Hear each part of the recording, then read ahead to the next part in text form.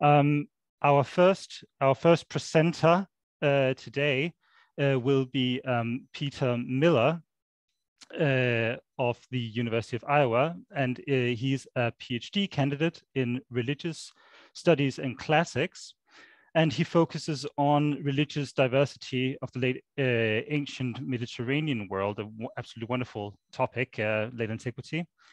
He's currently writing, I mean, he, he has just told me that he's going to defend his uh, dissertation uh, entitled The Usual Labors and Wealth uh, of Philosophy in, uh, in April of this year. Um, so uh, I hope that goes really well. Um, but today he's here to talk about something quite uh, different. Um, Satan, Savior, Muse, Messiah, Prometheus' many afterlives in metal music. Um, and I hand it over to, to Peter. Thank you very much for that. Um, in the interest of accessibility, uh, if you don't want to rely on the auto captioning, I have uploaded a transcript of this paper to the Google Drive so you can follow along there. If that is easier, we'll not have to deal with the auto captioning there. And while I set up my screen share here, just a brief content warning since we're dealing with the myth of Prometheus, there will be some discussion uh, and artistic depictions of uh, scenes of torture and gore, uh, be aware of that. If you are uncomfortable with the images, uh, feel free to minimize me. I don't take offense. And if you need to step away, uh, obviously, no problem. So uh, let's go ahead and get going.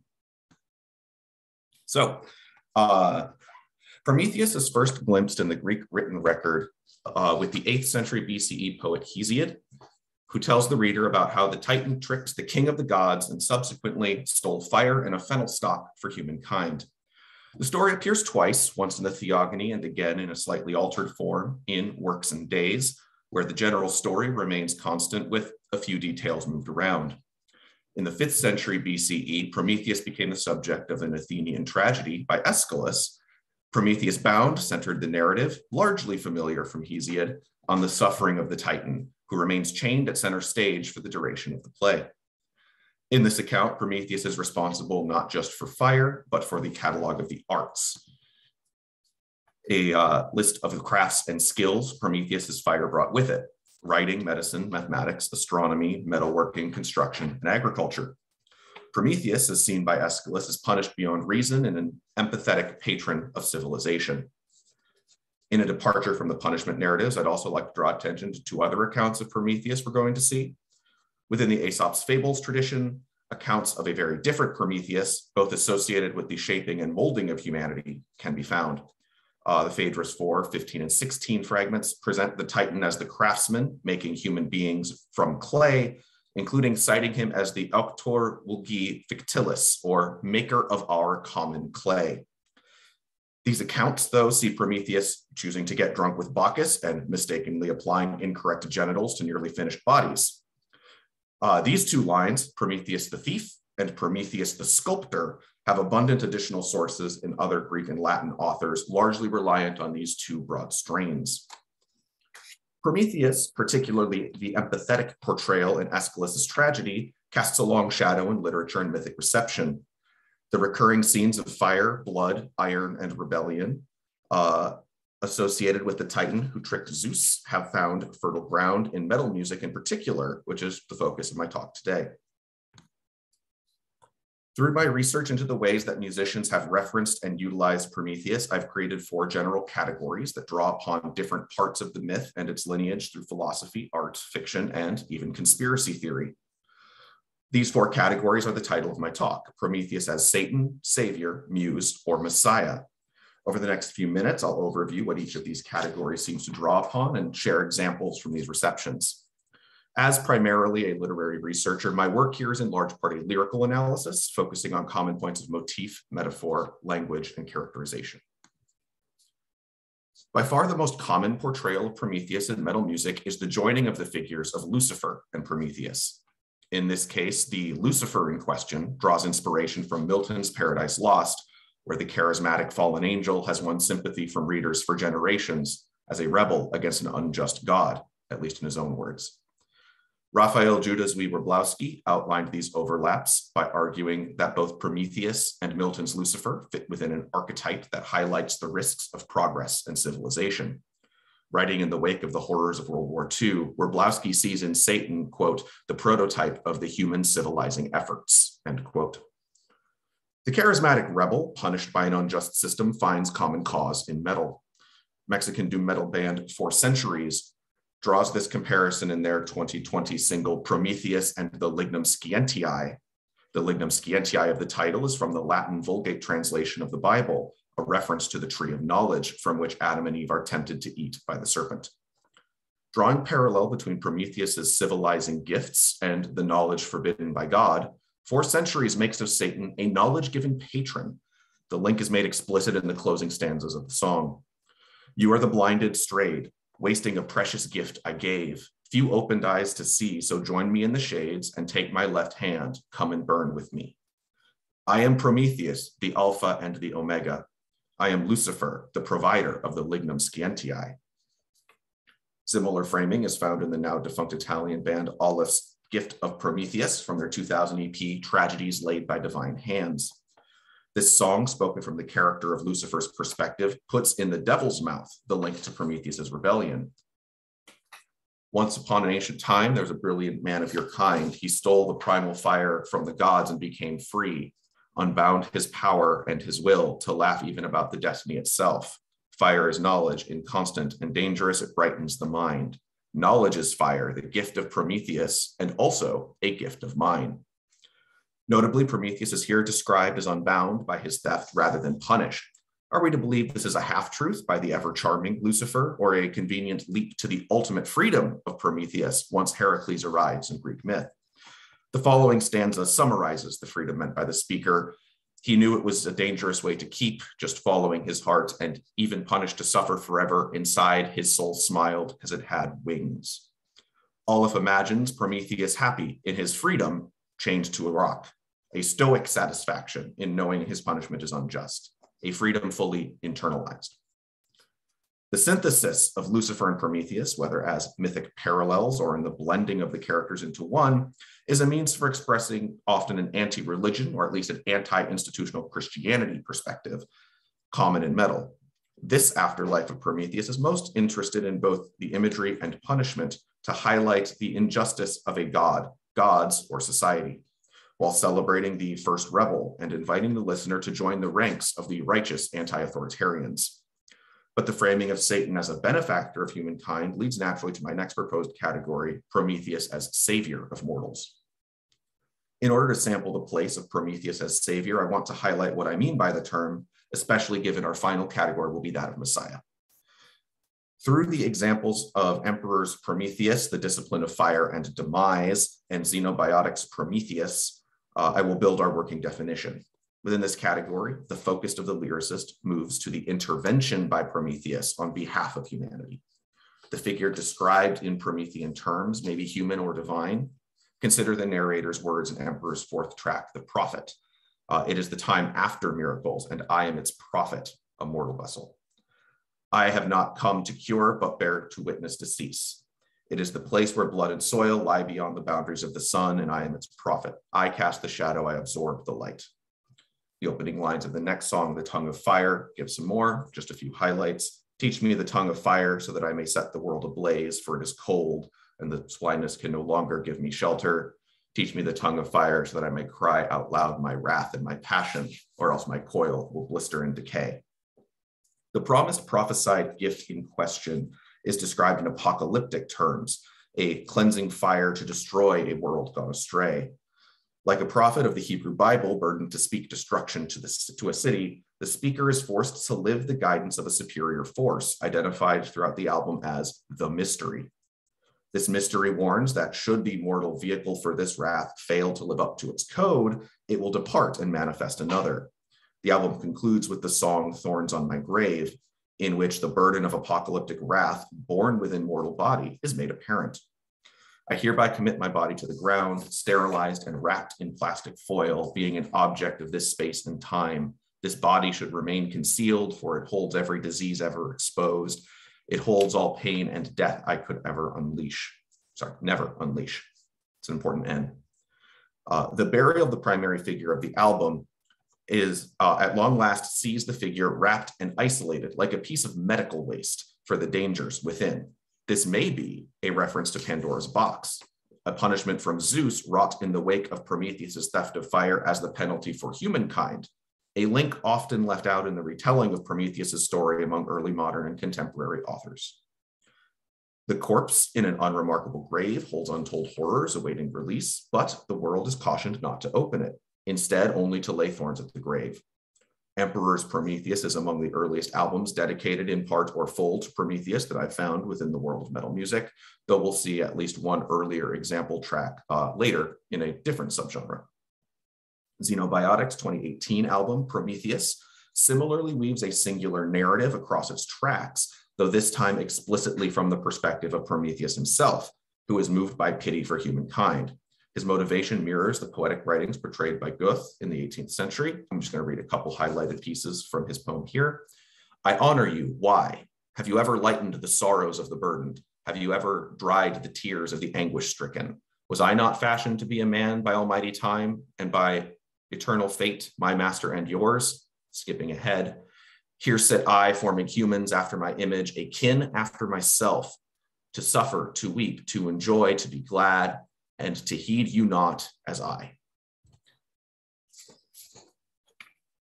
In parallel, consider these lines from the opening two tracks of Xenobiotics album, Prometheus 1, Ether, and Prometheus 2, Genesis. Uh, just reading the highlighted sections. Shall I honor you? What for? Have you softened the pains of burden? Have you silenced the tears of anguish? O holiest of burning hearts? I imagine that is sarcastic. Uh, they will be like me, suffer as I suffer, weep as I wept, live as I live, and they will bear the disdain that I bear. I will teach them to see in feeble vessels of flesh and blood, of skin and bone. They will become unbreakable. They will become unyielding. Xenobiotics album follows then with a meditation on the danger and destruction wrought by the technology, taking on an edge of environmentalism as Prometheus is forced to watch humanity wage war and destroy the earth through the misuse of his gift. Patron, benefactor, or even creator, the Titan is forced to stand trial for the crimes of mortal humans, whereupon he proclaims before the judgment hall of the gods, I am guilty. Goethe's poetry and the sympathy drawn by Prometheus's self-spoken defense in Aeschylus's play overshadow here other elements of the Promethean mythos in this segment. Prometheus, the savior, is a flawed figure, capable of mistakes, but a vehicle for either the salvation or destruction of humanity. Successful or not, we are asked to offer an amount of pity first and foremost. Romantic authors and the early modernists often equated Prometheus and the gift of fire with technological and scientific progress. This is most immediately evident in the full title of Mary Shelley's Frankenstein, or The Modern Prometheus, a title that is very difficult to actually find printed on a cover of a book, by the way, uh, which interrogates the consequences for Victor Frankenstein when he usurps the natural progress of life by imparting its spark while neither God nor mother. This question of the boundary of science has given Prometheus great appeal in works of science fiction in particular, especially those that edge on horror. H.R. Giger's visual effects in the Alien franchise of films, including its 2012 prequel film Prometheus, the Protheans of the Mass Effect series, Stargate SG-1's vessel named Prometheus, linked as it is to a parasitic alien race, all highlight the interplay of technological overreach and scientific achievement with a tinge of Lovecraftian horror. Beyond science, this science fiction vein of Prometheus's place in the imagination finds interplay with ancient astronaut theory, this pseudoscientific hypothesis, proposed outside of fiction in the 1960s and popularized by books such as Däniken's Chariots of the Gods, argues for the intervention of extraterrestrial visitors, pivotal in the uplift of humanity and construction of ancient monuments. Speculative inclusion of aliens within hard rock and metal is nothing new. 1983 saw the release of Blue Oyster Cult's Take Me Away, appealing to extraterrestrial visitors, after all. Metal's intersection of Prometheus as a vehicle for inspiration, scientific advancement, and perhaps even extraterrestrial influence finds its most direct example in my research in Luca Turilli's Rhapsody's 2015 album Prometheus Symphonia Ignis Divinus. The link between Prometheus and speculative science fiction is plain to hear if we read a few verses. Quantum Nexus, Nuclear Fire, Human Cyborgs, Gods and Titans, Neogenetic Modus, Karma, Alien Fetus, Matrix Corpus, and then shifting into Latin with translation on the right here for you. Alpha Ignis Signum astralis, Flamma Omega Multiversalis, Alpha Ignis Signum astralis, Donum Eius Prometheus. Uh, translation my own, not provided by Luca Turilli for me here, sorry. Similar echoes of Prometheus as inspiration of humanity, albeit with a darker tone, is found in Septic Flesh's 2014 Prometheus from the album Titan. Uh, repeated invocations to guide us, Deus, your fire in our hearts, Deus ex machina, the children of Prometheus, as a giant standing tall in a shadow, close the blackness. Prometheus, as your breed, we are bound to fall, but our light will scare the darkness repeated echoes and appeals to Prometheus as the deus ex machina, a god from the machine, highlight the lineage of humanity through the Titan who stands against the gods that may draw upon the aesopic notions of Prometheus as sculptor. We heard in Xenobiotic's description of Prometheus as maker of humanity from clay, or may highlight the uh, influence of the recent release of Ridley Scott's Prometheus in 2012, just two years before, fronting the godlike aliens described using the name of the thief of fire. Uh, while the last category, Prometheus as Messiah, is the least common in metal music, its presence is still worth noting and considering. Whereas the Satan category I outlined above may interact with the theme of punishment, the punishment is highlighted largely for its injustice. Here, links to the redemptive power of Prometheus's punishment, usually through direct comparison to the crucifixion of Jesus or to an angelic struggle, serves as the point of intersection. The earliest instance of this overlap I've found comes from the song Prometheus, a 1998 track from Telemetry of a Fallen Angel by darkwave band The Crüxshadows. The lyrics paint a clear line between Prometheus and the nails of Jesus' cross. Again, a few selections. I am crucified. There shall be no more mockery of the gifts of the gods, no more comparisons, no more distortions. My heart is heavy as stone. I am Prometheus. All courses I am aware of from here. One final nail, unnamed, undriven. This nail shall represent hope. Uh, these are the full lyrics of the song, by the by.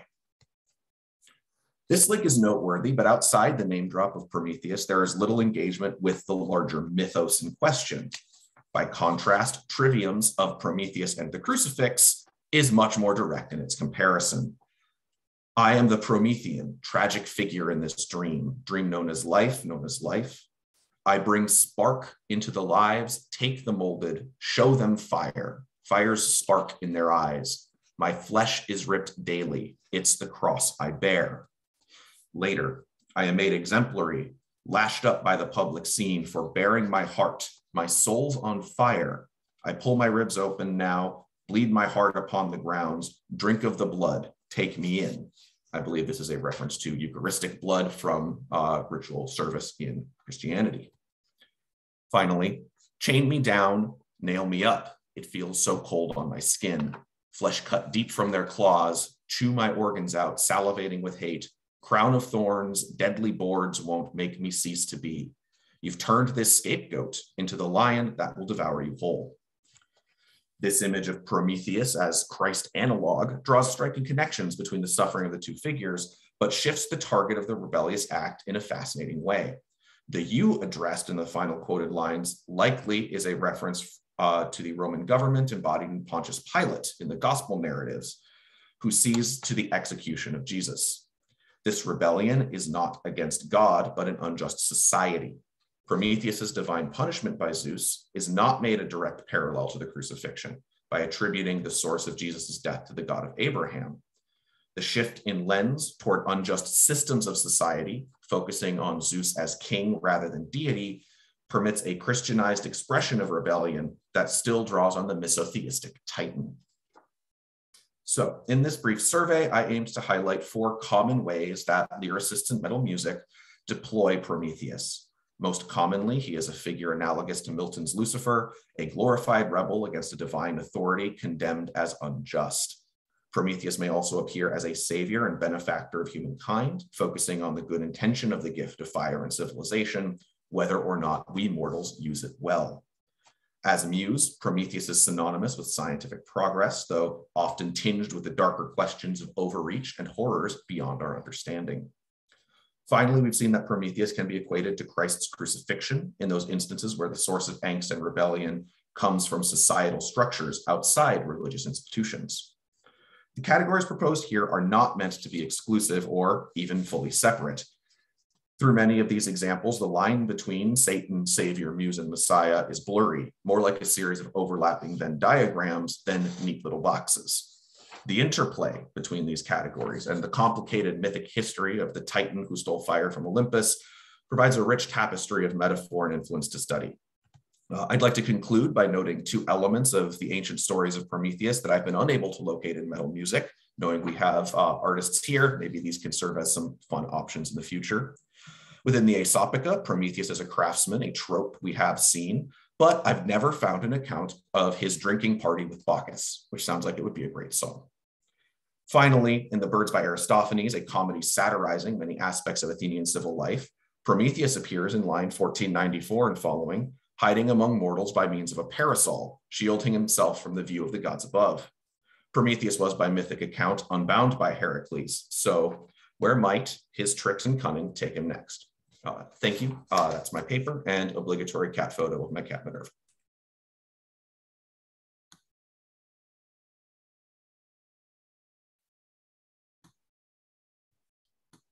Excellent. Thank you so much for this uh, excellent, well, paper. and really thorough overview of Prometheus uh, tradition in heavy metal. Um, now let's open it up for, for questions from, from the audience. give people either a few minutes to uh, a few seconds to write or, um, or raise their hand.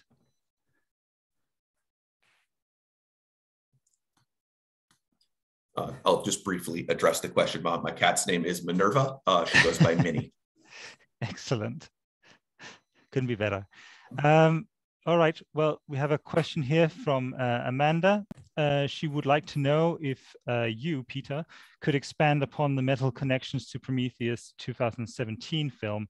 It seemed to be mentioned in passing, and she's interested in it. Yeah. Um, so I don't know in particular any immediately direct connections, but I do think that the uptick in these kinds of technology dubious science fictions, questions of science fiction dystopias um, have been uh, important in kind of bringing Prometheus back to the front. I tried to highlight some examples from contemporary sci fi. Mm-hmm. Um, and uh, I, I think that the link there is a kind of indirect one. Um, and so it's not directly Prometheus himself, but the Prometheus of the early modernists um, that we see constantly bringing up there. Um, but yeah, I, I would love to be able to point to a more direct line. Um, I haven't specifically found one other than sci-fi is popular, and I've seen a lot of spaceships on metal albums recently. Wonderful. Um, right, we have another question um, from uh, this time from Christopher Fletcher. Uh, he's asking about uh, subgenre, um, but he was wondering if you could say a bit more how you see these different aspects uh, appealing to different subgenres. Yeah, um, I would be more than happy to talk about that. I, in the interest of time, cut a small paragraph dealing with this from the paper before I uploaded it, but um, mm-hmm. I am really interested in um, the interaction between lyrical accessibility in different subgenres and the um, deployment of some of these themes. So, for example, um, some of the more prog influenced um, genres, uh, Luca Turilli, who's one of my favorite artists, so I had to dedicate a section to him, um, has a very clean vocal style in his presentation um, Whereas if you listen to Xenobiotics album, uh, it's very hard, at least for me, to understand the words in particular, given the vocal style, mm. um, without the kind of album supplement or access online. uh, I would really want to be digging into uh, that. I wouldn't know that the songs are specifically about Prometheus, except for maybe catching a piece here and there. Mm-hmm. Um, and so I think that there is a really fascinating kind of um, more more musically literate study than I am capable of doing. Uh, that investigates some of that point of lyrical access um, and the way that subgenres do things.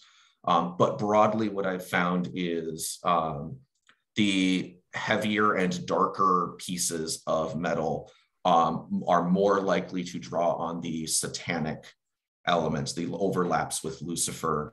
Um, right. And the more kind of technical, edging kind of symphonic sections um, are maybe more interested in exploring some of those science fiction connection themes. Uh, but again, I don't want to indicate that these are heavy boxes. These are tendencies. Um, mm-hmm. And boy, yep. it's all over the place. Yeah. yeah, I can imagine. Um, thank you. Uh, yep. Another question uh, here, this time from Marius, another one of our panelists here. Um, I, I, think he wrote this in the general chat uh, for everybody. Um, can we consider Prometheus more like the poster boy for Luciferianism in metal rather than the traditional Satanism? Yeah, I mean, I I think that Prometheus is just such a ready application of that. Um, he's he is in many ways uh, an easier Lucifer to like, at, at least for me, because uh, the Greek gods are themselves so deeply flawed. Uh, Zeus is a very easy god to dislike. Um, and so uh, he is not only a rebel, but he's a rebel where even if you take all the um, like back baggage of Greek religion, like the, the ancient Greeks were able to still portray him as pitiable, as treated wrongly by mm-hmm. the king of the gods they were still raising temples to. Like yeah. it is fascinating to see that that is the case. And while certainly metal is going to work to transgress the societies that it is in now, um, you know, f- finding those overlaps where it is like Milton's Lucifer is uh, really fun for me. Um, it, you can definitely put him up as that kind of like OG poster boy. Um, yeah. Excellent. Um, we have a few more minutes and we have a few more questions. Um, there's a question here. Uh, I've never seen a chat, a Zoom chat this active, so that's really great going, everybody. Um, Prometheus, as well as Satan, is related to absolute freedom. Absolute freedom has an understanding of chaos, of an overflowing disorder, and this confronts us with our limitations as sentient and finite beings. This, us for, uh, this makes us face a question we can't avoid. Do you think that we that when we acknowledge the connotation of absolute freedom, we are put face to face with our limitations? Um, yeah, I mean, I think that kind of tension between freedom and fitting within a system um, is kind of at the heart of a lot of these Promethean myths and that kind of struggle that uh, Werblowsky was pointing to, where we're dealing with some of these questions of technology and society where being an individual becomes harder and harder in a world that feels increasingly global and finding that um, point where you can be free. Um, you know i go back to that lyric about how prometheus is free despite chained um, kind of like the uh, thought that we must imagine sisyphus happy. Like where in the toil and in the pain do you find that joy and freedom expressed? Um, that's in my, in my mind, many of the kind of common challenges of what these myths um, are presenting. Um, and also, I think part of why they're still appealing. Um, I I have a side thought on some of the common ideas that Prometheus providing civilization and then being punished for it looks a lot like the Enochian Watchers and the kind of fallen angels of that tradition. And I think that's easy to see why it's become so kind of universal and syncretized through a variety of modern reads of uh, the Promethean myth. Um, an attempt to make it standard and why it appeals to things like ancient astronaut theory that wants to take a little bit from everywhere to build a case for a global origin of humanity, you know, flawed as the approach may be. Okay, thank you for that yeah.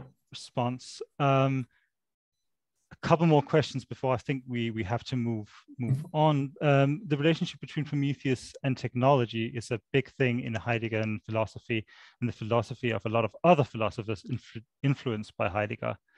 Heidegger himself, however, we could say was influenced by Spengler and the whole concept of Faustian cultures.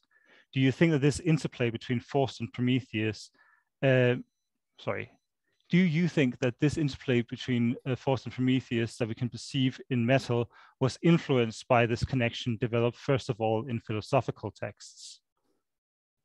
I mean, I think that the, in many ways, those philosophical texts that are being pointed to are kind of the underpinning for a lot of the uh, contemporary reception of Prometheus um, as they get disseminated and discussed. Um, and so I, I, do think that they play a really important role. Um, but I also think equally important here is the um, internet accessibility of mm.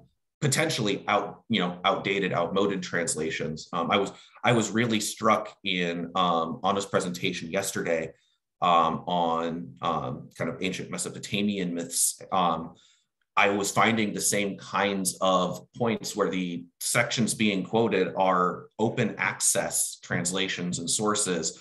Um, and usually the ones that are at the bottom of the Wikipedia pages in question. And I think that there's just um, a major piece of what those points of connection and access are influencing those pieces.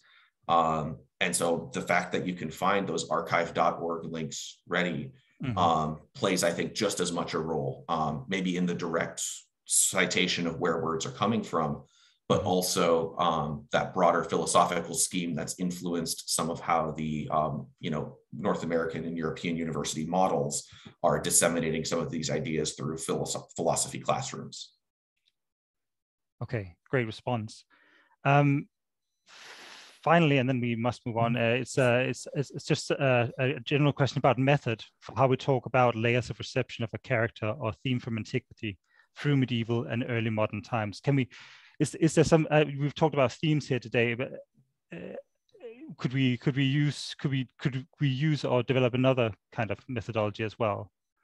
Yeah. I'm um, in, sorry, I'm interested in this also because I've done some work on Alexander. Yes. Um, uh, no, I so I tried to focus on um, what themes were being brought out and if they mm-hmm. sounded like things that were presented in the er- in earlier sources. Mm-hmm. Could I find um, points of connection that are too similar to be uh, mm-hmm.